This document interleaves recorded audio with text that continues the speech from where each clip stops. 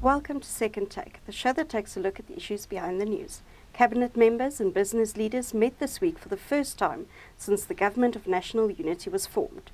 Terence Creamer joins me to discuss some of the key outcomes. Hi. Hi, Chanel. Firstly, it was agreed that the focus of the National Energy Crisis Committee needs to be adjusted. Yes, you know, with uh, load shedding sort of de intensifying, waning, uh, there's going to be a need to be a shift if they're going to keep the crisis committee, uh, because that was really what it was set up to do a couple of years ago, to really tackle load shedding. And but the thing is that we are in a major energy transition, and there are crises emerging all around the, the electricity sector at the moment, not just at the power stations where the focus was over the last couple of years and getting the operations working, getting the money so that uh, could plan properly um, from the National Treasury.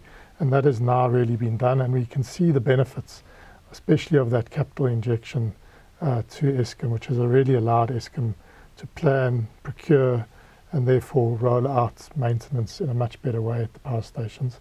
And that, uh, that is now uh, leading to much lower load, well, no load shedding at the moment, which is great news. So NECOM really is going to be focusing on the other crises that are emerging in the sector. These are really system-wide crises as we transition from a very vertically integrated structure, a centralized structure of, which is dominated by uh, coal stations in the north east of the country, producing electricity for the rest of the country through a, a big machine grid that takes electrons almost one one way. And we're moving to a system where it's going to be more bidirectional. There's going to be much more activity in the southwest of the country if we can get the grid capacity up uh, to evacuate that power. And that is the crisis that is emerging around the system now. How are we going to get that grid in place because it is constraining the, in, the integration of new renewable energy into the market. But it's not the only crisis. We're seeing a major uh, crisis around municipal utilities, and these are operational. Um, and uh, you know so they're just substations that haven't been well maintained, uh, lack of crews, um, those operational elements. But they're also operational in the sense that with uh, in certain cities there's been a lot of illegal connectivity, and this is putting major strain on substations, and we're therefore having ongoing load reduction, which is effectively for those communities like load shedding. So that continues. So that is a crisis. But there's a financial crisis, and uh, there's a financial crisis that we see at Eskom, and we see that uh, the steeply rising tariffs, and at the municipal utilities as well, there's a crisis financially uh, where we haven't reached cost reflectivity, yet we are facing an affordability crunch from a consumer perspective, not just poor households. You know, uh, normal uh, middle class households are also facing difficulties around electricity bills and steeply rising nature of those, and then the uh, obviously business, which was used to having very good, one reliable but also very cheap electricity back in the day uh, from Eskom, that has now changed fundamentally, and the electricity prices are no longer cheap in South Africa. There's not a industrial policy advantage or lever that government can pull. So those those system-wide crises are going to be the be the main focus now of the of the repurposed NECOM and what some are calling NECOM 2.0. Government and business also want greater ambition from Transnet around its recovery. Yes, you know, I think there's uh, the recovery at Transnet has been welcomed. The leadership and the openness to new uh, innovations and new interventions and to private sector participation has been welcomed. But the pace at which the recovery is taking place is still of concern to business and government. Transnet dipped to like 149 million tons of volumes a couple of years ago, which was really dismal because it had done well over 226 in around 2018 million tons. And the recovery plan was to get to about 254 million tons last year, which they, they, they didn't meet. They got to about 250, 252 million tons and then to rise to 170 million tons during this current year. We've already heard that they're behind that tempo in terms of recovery, but that they've got plans to try and you know claw back the losses that happened in the first few months of the year. and to get uh, to that 170 type million tons. But business and government are saying that's really not good enough. It's not even at the contractual levels that many of the mining companies want to move their, their chrome, their manganese, their coal, uh, those bulk, the iron ore. You know, we're below those contractual levels. And we're also below the level, and uh, the, the presidency suggests that this is between 200 and 220 million tons, where the freight logistics system is supportive of a recovery, including job creation. So anything below that, it's actually job destroying and and is and is creating problems for growth and development. So there's a view that much more attention needs to be given to Transnet. Now Transnet has done a lot and has already signalled beyond the 47 billion government guarantee that to get to a new level, they may need to go to the National Treasury for recapitalisation. So I think that's very much on the cards.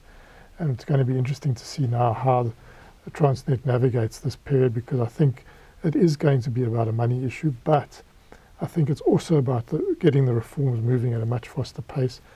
The, the, the logjam around, the legal logjam around the port operation at Durban Container Terminal continues, so we've got no certainty there about a private sector participation, and that really would be the model template for other terminals potentially and getting more private sectors into the port, private sector investment into the ports.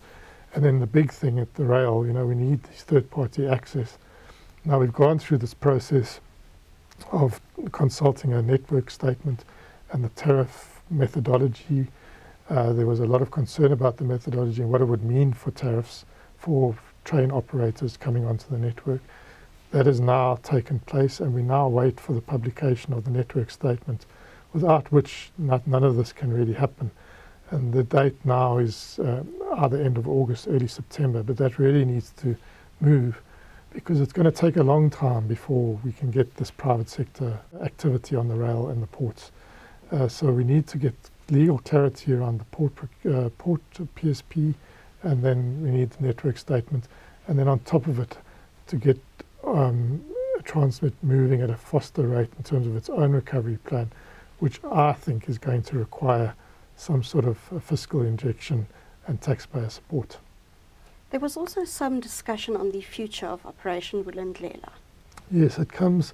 Uh, this is the first meeting of government and business uh, since the formation of the Government of National Unity, and we know that the partners in the Government of National Unity, particularly the two largest partners, ANC and DA, are very supportive of Operation Vulindlela and, and broadening Operation Vulindlela beyond what it is now, which is the freight logistics, which we spoke about, the electricity crisis, which we spoke about. We didn't speak so much about what's happening in the, the crime space and the, um, the law enforcement uh, and support that's happening there. That's very important support to the, to the judicial system and the investigation unit and um, the National Prosecuting Authority. Very important support coming through there.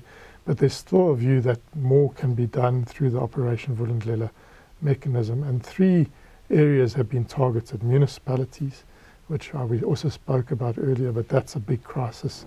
Uh, the, the, financial and operational instability in uh, municipalities, that's going to be a big focus area. The second area is spatial inequality that persists with the apartheid uh, living um, uh, distribution or way people live and the, the racial dynamic around that persisting well into democracy and looking to do more around spatial equality. That's another big leg that uh, Operation Vulindlela has been told that they should start looking at. And then digital transformation, which is the key to growth into the future. So those three aspects, what is going to happen, how are they going to be integrated into Operation Vulindlela? And uh, I think the, the discussion, because it very much comes down to the capacity of business and government to really do all this thing. It's a lot of uh, executive time, it's a lot of energy, it's money.